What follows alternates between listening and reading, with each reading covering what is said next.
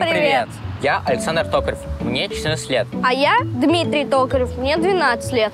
Приглашаем вас в район Новогиреева. Мы покажем вам маршрут, который придумали для конкурса про мой район.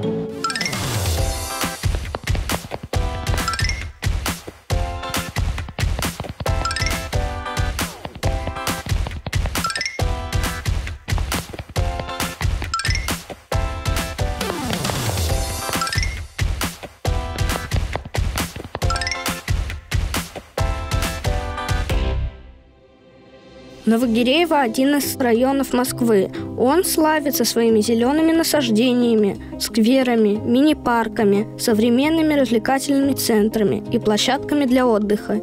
Сейчас здесь есть все для уютной и обустроенной жизни, а несколько веков назад территория являла собой заброшенную болотистую местность.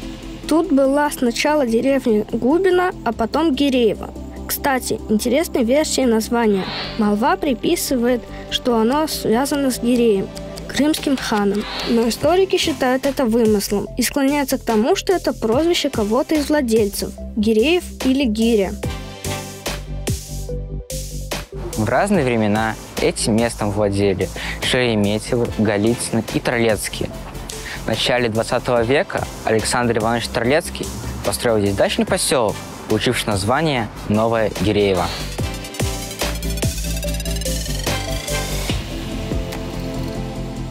Все шло по сценарию Чеховского вишневого сада.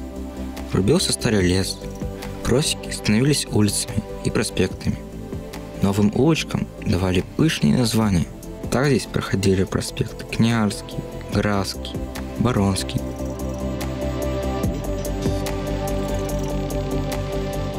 Таралевский знал, чем привлечь первых московских дачников. Территории поделили на участки, проложили мощеные проспекты.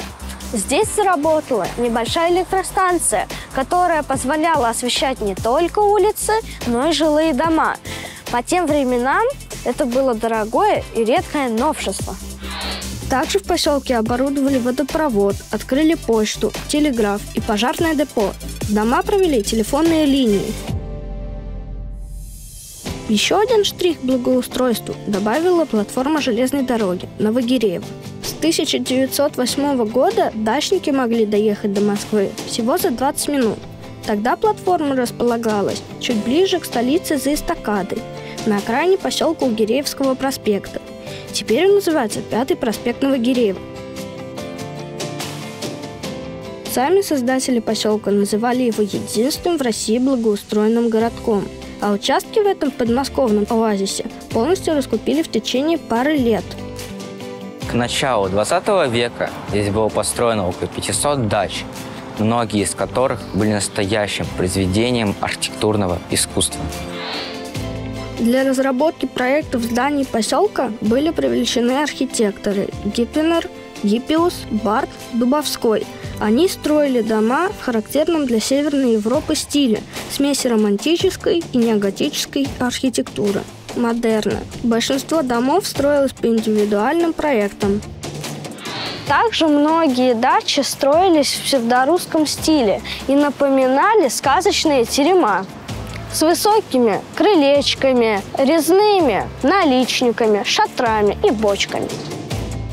Во второй очереди планировалось строительство общественного собрания, того, что сейчас назвали бы общественным центром, с бильярдом, боулингом, библиотекой и концертным залом. Поэтому неудивительно, что поселок был популярен среди интеллигенции. После Октябрьской революции дачи национализировали. Каждый отдельный домик превратился в коммуналку. 1938 году поселок Новогиреево включили в состав города Перова. В 1960 году территорию присоединили к Москве. На этом дачная история местности закончилась. Частные домики снесли уже к 1965 году, а на их месте возвели современные жилые кварталы. Правда, часть истории все же сохранилась.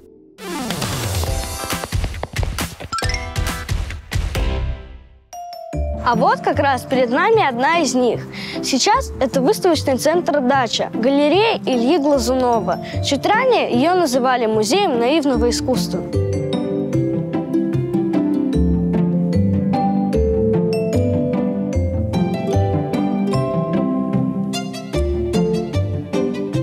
Кирпичная двухэтажная дача в стиле модерн была построена для французского коммерсанта Вертье в 1907 году. В этом доме долгое время размещался Перовский районный народный музей. Сегодня в центре проводятся выставки наивных художников, лекции, творческие встречи с художниками-самоучками, мастер-классы.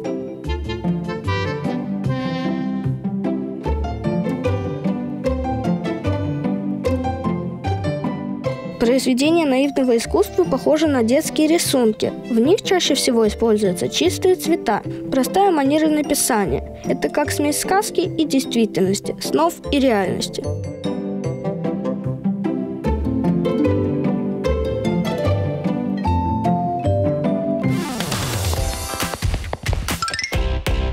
Возле дачи находится Нейв Парк. Это место, где искусство вышло из выставочных залов на улицу к людям. Здесь можно полюбоваться скульптурами, посмотреть выставку на уличных стендах.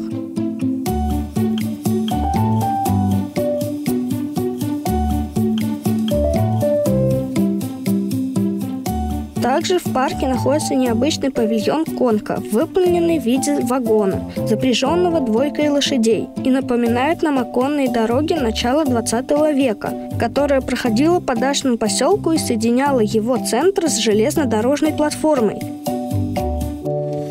И, кстати, именно черная подкова, напоминающая о конке, нашла отражение в гербе нашего района. Также на гербе есть главная магистраль района – Зеленый проспект. Золотое поле символизирует пески Афганистана, так как именно в нашем районе установлен памятник москвичам-интернационалистам.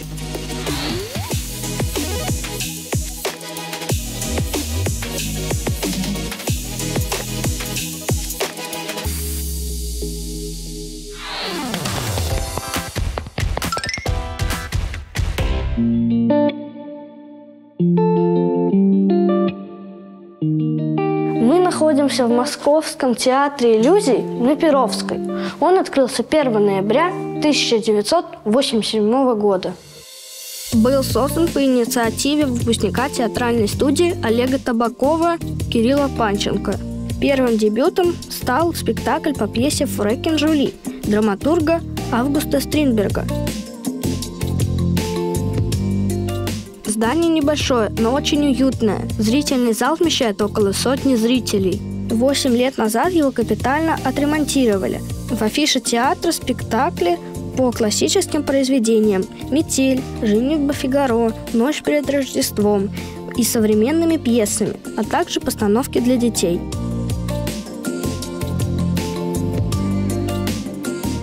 Также на этой сцене раз в два года проходит Московский международный фестиваль каверных театров и спектаклей малых форм «Славянский венец».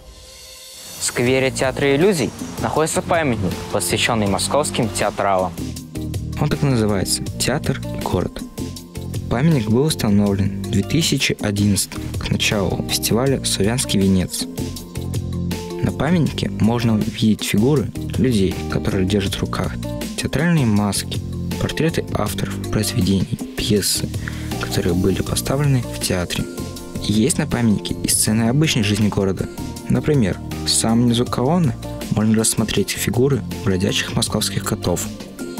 А вы никогда не пробовали себя на сцене? Попытайтесь выполнить легкое задание. Изобразите котлету, которая жарится на сковороде.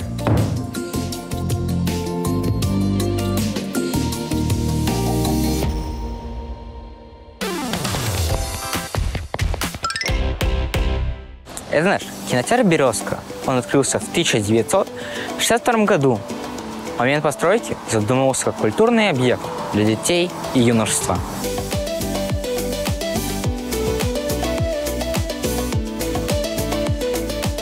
В годы СССР, кроме концертов и других культурных событий, на сцене кинотеатра ежегодно проходили школьные пионерские и комсомольские мероприятия, работали кружки и секции. Сейчас у него новая жизнь. Внутри все поменялось. Сцена раньше была только для кино. Теперь здесь занавес, который может закрывать экран, и тогда можно проводить другие мероприятия. Концерты, спектакли, тематические вечера. Здесь может вместиться 367 человек. Установлено новое оборудование, очень удобные кресла. Дизайн выполнен в ярких цветах. На втором этаже можно весело провести время с детьми. Работает кафе, где можно дождаться сеанса или перекусить после просмотра фильма.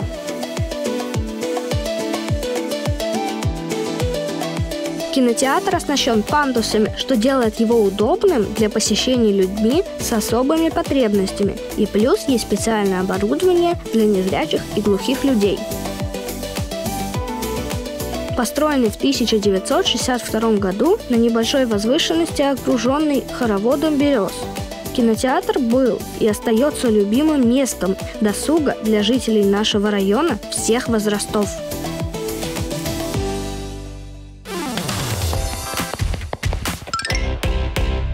Кино и театры в нашем районе мы посмотрели.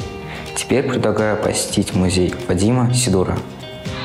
Вадим Сидор – известный советский художник и скульптор.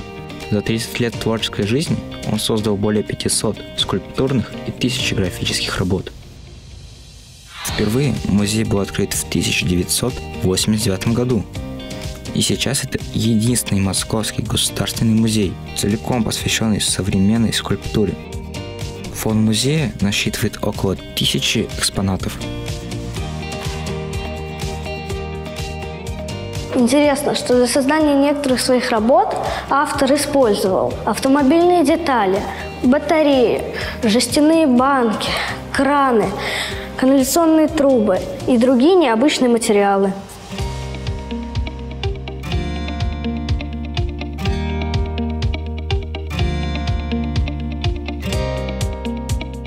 Кроме постоянной экспозиции, в музее организуются выставки современных художников, проводятся концерты, читаются лекции и занятия по истории и культуре современного искусства и искусства XX века.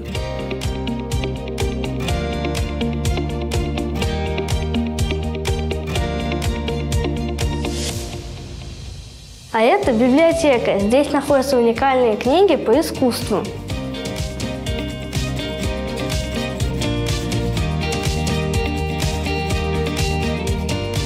В музее есть свой кинозал для просмотра фильмов, проведения музыкальных мероприятий, лекций.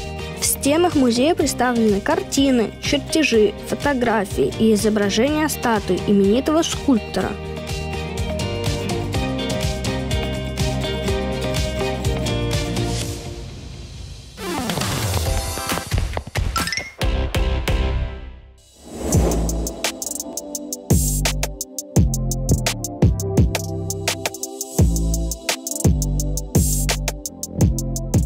сейчас мы пришли к храму Спаса Нерукотворного. Ему более 300 лет. В 1714 году князь Иван Голицын просил у царя Петра Великого разрешения возвести новую церковь. Несмотря на свой указ, где запрещалось строительство каменных зданий где-либо, кроме Санкт-Петербурга, Петр I разрешение дал, и в 1718 году строительство было закончено. Храм становится усадебным храмом князей Голицыных. Первым священником в нем стал иерей Тимофей Авакумов. Отец Тимофей прослужил здесь 25 лет, и из уважения к этому священнослужителю князья Голицыны позволили похоронить его при храме. С 1809 года храм становится приписным к церкви Рождества Иоанна Предтечи, села Ивановского, что недалеко от Гиреева. В середине 18 века имение было продано, после чего часто меняло владельцев. Новая жизнь храма началась с 1872 года, когда имение приобрел купец первой гильдии Торлецкий. В начале 20 века по просьбе жителей Новогиреева получил статус приходского храма. Весной 1941 года храм был закрыт, и с 1949 года здание находилось на балансе военной школы собаководства. И только в 1989 году по личному приказу министра обороны СССР Язова храм был возвращен Русской Православной Церкви.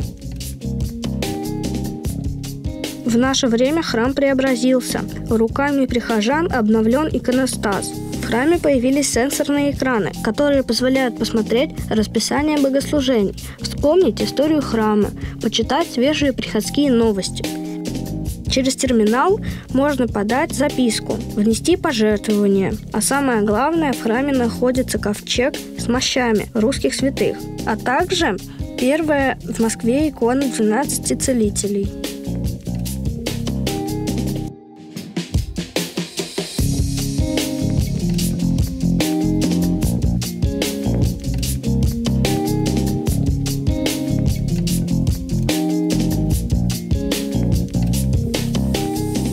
Сегодня мы посетили много мест и получили яркие впечатления. Желаем и вам побольше гулять, а также изучать и любить свой район.